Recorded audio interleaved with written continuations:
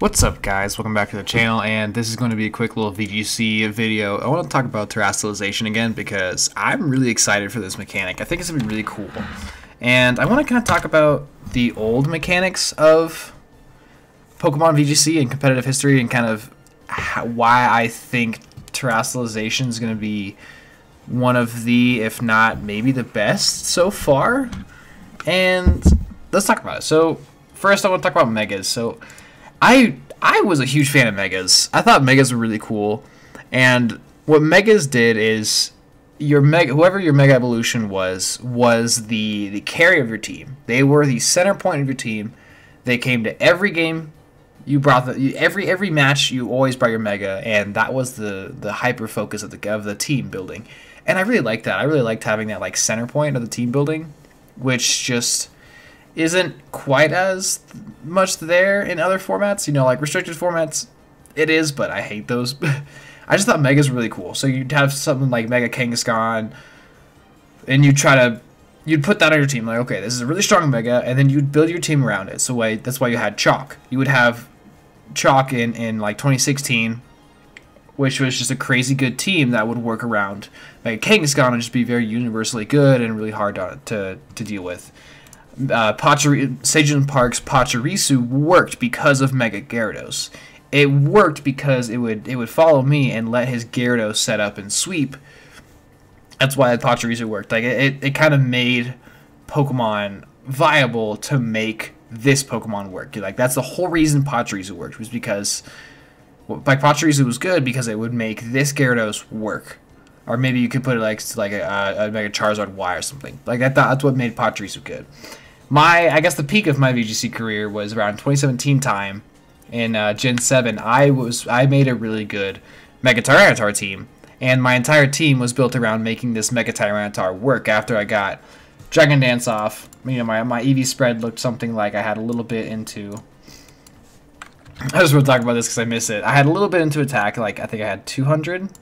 I had exactly 200 into attack with Adamant and enough speed to outspeed everything after two Dragon Dances, and enough HP to just be able to, you know, get a lot of hits off, kind of thing. I think I had something like this. I don't even. I actually don't even think I was adamant. I think I was something like this, along the lines of that. But I would, you know, you could make, you could make a team where I'm going to make my Mega Evolution, you know, work, and I build my entire team around it. I had I had Tapu Bulu to give him some extra recovery and also scare away water types and even like had Grassanium Z so he could handle Landorus. I had Milotic to help with the Landorus. I had Togekiss and Amoonguss. I had Amoonguss on the point at some point uh, to help redirect and let Tyranitar set up. I had Nidoking to scare to to help sweep with it. I had Excadrill at some points too to try to you know sweep alongside Mega Tyranitar. I can't remember the rest of the team. I think I had Conkeldurr there at some point or some fighting type, but it was building around the Mega. And then in Generation 7, we had Z moves, and you didn't necessarily build your entire team around Z moves, but there was still like a little bit to there, like like Psychic, like Psychium Z, Psychium Z, Tapu Lele, for example, was like a really strong attack, and so you'd build your team around Lele, because Lele could just one shot something, or, or like Golduck in the rain. You would you would you know build around this, or I had Tapu Bulu was a big part of my team building because a Tapu Bulu with Grassanium Z could one shot a Landorus, which is a big which is a big issue for my Tyranitar or even like a Terrakion or something. And then in Generation 8 we had G we had Dynamax and Gmax and this was a lot more like megas in terms of you would team build around who you Dynamax. You would you would have a Dynamax focused character like you would your your your Charizard if you had a Charizard on your team, you're Dynamaxing that every time you brought to the game. If you had a Coalossal on the team, you're Dynamaxing that every single time you bring it to the match. Or like a Defiant Thundurus, you know? Like if you have Defiant Thundurus, every time the Thundurus comes out, you, you try to soak up the Intimidate from, from Landorus or Incineroar, and then you Dynamax. And that was a very centralizing part in team building. Terastallization, I don't think it's going to be that, because Terastallizing doesn't use an item, and every Pokemon can do it. You can only use it once per battle, kind of like just like Dynamax. So it's like Dynamax kind of the same thing, but there's clear winners for Dynamaxing, and there's just some Pokemon that were like clearly like Dynamaxing was just such a crazy change. I think Terastallizing is going to be a still a big change, but it's not going to completely like change everything about the match. You know, like the, the Dynamax thing is just like you have a raid boss now I have to deal with. Terastallizing isn't going to do that much. I think it's going to, so I think it's going to be really cool. And I think there's three way, there's two main ways that Dynamax, or sorry, Terastallizing is going to be used, you know, offensively or defensively. And I think the best Pokemon at Terastallizing, who are really going to change the meta, or like who are really going to fit into the meta, if we're just, I'm just going to talk about like a general meta sense. I think a, a, a Generation 9 Terastallization meta is going to be defined by Pokemon that are flexible and can handle, you know, I, I don't think these like gimmicky Pokemon are going to work out as well. I think it's going to be Pokemon that can handle, you know, the, the meta Pokemon even when they change into something crazy. So like a really good offensive Tera type Pokemon would be something like a Regieleki or electric types, offensive electric types turning into ice. That bolt beam coverage is really crazy. Something like a Regieleki would be crazy because the way that terastallizing works is when you change it to your new type, for example, Reggie Regieleki turning into ice, you still keep your old type, your original type's stab. So Regieleki would still have the electric stab, and with Transistor would still have, you know, a crazy boost to the electric type stab. And then when it turns into an ice type, you now get the two times modifier or adaptability basically to your to your new type. So you don't just get stab on it, you get two times. So you, you turn to a new type, you get that defensively, but you also get the adaptability boost. So there's two big things to, to is the, the defensive typing and the adaptability basically from it. So an example of a super offensive terastallization could be something like Regieleki. You know, really strong electric type is only stopped by ground types. But now, what do you do when it turns into an ice type and now it's killing on ground types? What what do you do? you know, Electric. I really hope Aleki's not in the game because it's gonna be really stupid. Just trying to deal with an ice type Aleki that's just hitting you for really hard. Just like you can't you can't stop this thing. It's gonna be really annoying. Or something like you know a Gastrodon usually sits in the face of, of Kyogre, but what if Kyogre turns into a grass type and now uses, you know, Tera Blast? I have Terrain Pulse over instead of a Tera Blast. Tera Blast grass, you know, and the Gastrodon just gets destroyed. So it, I feel like a Pokemon like Gastrodon, whose sole purpose is is Storm Drain and, and, and countering water types, isn't going to work because what if the water type ever just turns into a grass type and now your entire plan is out the window and Gastrodon's just just going to get slapped by what this by the thing it's supposed to counter that's what I think is going to happen with the meta. That's like my personal opinion of what I think is going to happen to the meta. I think the Pokemon we're going to see to be good are going to be Pokemon that can handle, that can maybe be, be a counter to something, and even if they turn to a different type to beat it, they're still going to be like okay with it.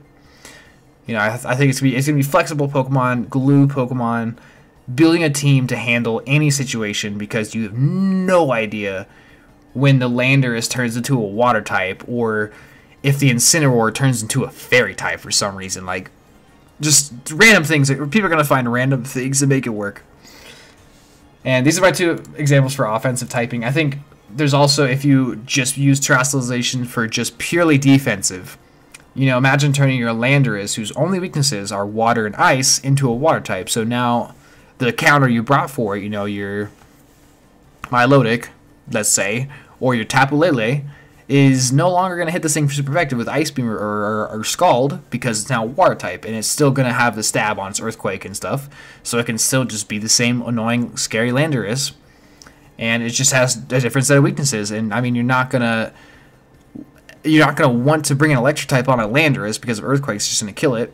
And if, if you have bringing a Grass type on a Water type Landorus, it can just U-turn out, hit the Grass type for super effective, and just leave. Or let's say like a Flying type Heatran it's just a random example. You know, you, you try to deal with Heatran. I mean, I'm using some some quad weakness examples because it's just pretty clear exa- clear examples. You know, Ghost type Tyranitar is the same thing. You know, uh, a, tar- a Heatran you try to you try to handle with a, a ground type move or maybe a fighting type move. You turn into flying type, and even though can, who cares about the flying type offensively? Like you can beat fighting types now, cool, whatever. You already beat grass types. But you're now no longer weak to ground. Instead, you're immune to it, and you're no longer weak to fighting. And now this thing has now people try to beat you with a rock type, which you have flash cannon to beat the rock types. You have or like an ice type move, which no one's ever going to try to use ice type move on against a Heatran or a uh, electric type move. You've got like Earth Power to help take care of that. So just purely defensive makes makes you have, makes the opponent have to deal with your Pokemon in a new light. I think the best Tera Pokemon are going to be Pokemon that do that both, that do both, that have really strong offensive coverage or, or offensive benefits from getting the two times stab and just have a ton of different coverage or hit really hard, but also the defensive typing would help them out a lot. I think a, a good example is is a couple of good, good examples that I thought of real quick is something like a water type Garchomp. Well, Garchomp has Aqua Tail, so just like just like a uh, Landorus T, the the ice beams that you usually are going to try to use against your the Garchomp to get you know get rid of it are now not very effective. And the the fairy type the fairy types that try to switch in and be the Garchomp, you know, now it's not weak to fairy. Maybe you run like an assault vest uh, water tera Water Garchomp and you've got all this different coverage. Maybe you throw like Poison Jab on here. And you've got Aqua Tail, which now has double the stab, you know, which now has the yeah, double, double damage basically because you have the two times modifier from the terastallization, and you're no longer weak to ice and you're no longer weak to fairy. You're now neutral it, neutral to it, and you're still a, a really a water type that's firing off, you know, stab earthquake because you still retain your old stab, and you're beating other dragons with Dragon Claw, and just Garchomp has a ton of different coverage. Like he's got Iron Head, he can run Poison Jab. Maybe Poison Jab's a better example over like like Rock Slide, I guess. But uh, you know, just something that he can use both. You know, he turns into a water type, but he also benefits from being a scary offensive water type, which is crazy good stats and such. Or maybe a grass type Gyarados. You're no longer weak to electric, but you also have Power Whip, and your Power Whip is even hitting even harder. And so you're really scary grass type that's Dragon Dancing, or you can know Earth ground type could be the same thing here. Ground or grass Gyarados, either one works there. Um, or maybe you go steel type Hydreigon. You know, you go the steel type for defensively for defensive utility, uh, and you have levitate, so you've got a lot of defensiveness to it. You know, your steel type, you're you're no longer weak to fairy. It's a quick it's a quick turnaround. The levitate on a steel type is really crazy, but then you also have your flash cannon coverage is now hitting even harder, and you really just are blowing up the fairy types that are going to counter your Hydreigon or maybe an electric type Latios because you've got, you know, kind of same thing. Your electric type with Levitate. Now you have no weaknesses. And your Thunderbolt coverage that you're probably going to run on this thing anyways now hits even harder. And you're still firing off Stab, Draco Meteor, and, and you've got Psyshock, and you've got Bolt Ice Beam for Bolt Beam coverage. These are the Pokemon, these four that I just talked about. And, and examples like this, like this Latios, I think is the crazy, this is one of the best examples. I think these are the Pokemon we're going to see terastallize the most and what's really going to happen with terastallizing, but because it doesn't doesn't cost an item, it doesn't cost an ability or anything, any Pokemon can do it. It's going to be very flexible. So I think I think Pokemon like this that are going to be really good in the meta that can just you know handle different things and can and can use the the new Tera type great offensively and defensively. I think this is what we're gonna see. Uh, it's I'm kind of all over the place, but it's okay. I think this is what we're gonna see: is, is Pokemon that can handle, that get good offense, offensive benefit from it, and defensive benefit from it, and you, so that way you can you can just build your team normally with these with these flexible Pokemon, and then terastallize whoever you need to in the moment. You know, another example I just thought of is like a Porygon 2 turning into a Ghost type. Let me just throw the Ghost Gem on there. Turning Porygon 2 into a Ghost type, you get the the defensive benefit of now you're no longer weak to fighting. You can no longer be fake outed, and you have Shadow Ball for coverage. So there you go. Now, you know, Porygon 2 is a really bulky Pokemon that sets like Trick Room. You've got Recover, so you can run something like like like a Trick Room. You have Tri Attack, and then you've got Shadow Ball for coverage. It's usually something like Ice Beam or something. Um, but maybe you're going a more offensive Porygon build, and you're still running, you know, Trick Room, Tri Attack, and you have Shadow Ball for that good stab and defensive typing as uh, you know ghost type and then um, recover let's say or icy wind something like that so you can still be your your really irritating Porygon, and you can either you know turn into a ghost type, so you're no longer about not gonna get fake outed, and you can set up your trick room for free, or there's a fighting type on the on the on the field, and you're just like, oh, I'm just gonna not be weak to you anymore. Or you could just even be like, oh, hey, I'm just gonna turn into a ghost type and be really scary offensively now too. Or say something like Urshifu. Let's say if Urshifu's in this game, the one way to counter Urshifu is, is a good fairy type, you know, something like a Tapu Fini. But what if this Urshifu turned into a poison type? this thing is now no longer weak to fairy. It has poison jab for coverage too. Or Tera Blast for coverage, you know. And now you're dealing with this now you're dealing with this really strong Pokemon that is hitting the steel types with with close combat, that is hitting psychic types with with Wicked Blow and Sucker Punch, and is now sniping fairy types and one-shotting every fairy type in sight because it's now you know adaptability poison jab. You know something like this, like you get the you get the defensive benefit from it by no longer being weak to your quad type, and the offensive benefit of now you're just gonna you turn into you know scared of every fairy type to now you're a fairy killer, and so it's up to the opponent to see if they have a a team that can handle this this immediate switch over to a poison type Urshifu, and that's what I think is going to you know shape VGC VGC teams in Gen 9. It's going to be flexible Pokemon. It's going to be flexible teams that can not only terastallize anybody and you know you know create create a new crazy situation like a poison type fairy killer Urshifu or an electric type with no weaknesses, Latios, that's still dropping stab Draco Meteors, or, you know, etc. And But that can also handle when the Gyarados on the uh, opposing Pokemon's or uh, opposing enemy's team turns into a grass type, or when they turn their Landorus into a water type, or when they're trying to sweep you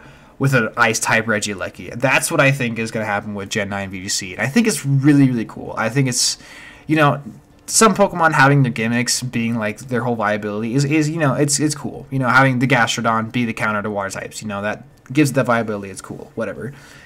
But I think you know just having flexible Pokemon maybe this maybe this opens up some room in the metagame for Pokemon that have been flexible but you know maybe overshadowed by the gimmicks. You know maybe maybe some Pokemon like I'm gonna throw a random example out like a like a Walrein. How about like a Walrein, who's a, who's overall pretty good Pokemon. You know, it's bulky.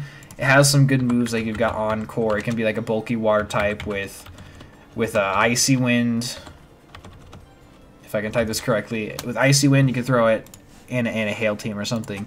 Something like a Walrein might just be good now because it's flexible and can handle when a Gyarados turns into a Grass type because it used to wall the Gyarados out now, and now when it turns into a Grass type, it can hit it really hard with ice beam. You know, this is just this is just a random, a super random example, but like, you know, this is this is why I'm excited to see what is going to happen in, in the future of of you know VGC and Gen 9 and VGC, and I think terastallizing is going to be really cool. I think there's a lot of really cool Pokemon that can benefit from this gimmick, and it's I'm excited. I'm excited, and I wanted to share this this kind of thought process video through you guys. So. Thank you all for tuning in. If you want to see more VGC content from me, please let me know. I do want to expand a little bit. Uh, Scarlet and Violet's coming out soon. I'm going to be playing that. I'm going to be just doing a normal playthrough, I think, and I'll stream that when I when I play. You know, probably not all the time, but I'll stream a little bit here and there. And yeah, thank you guys for tuning into the channel. Thank you guys for all your support, and I will catch you guys next time. Peace.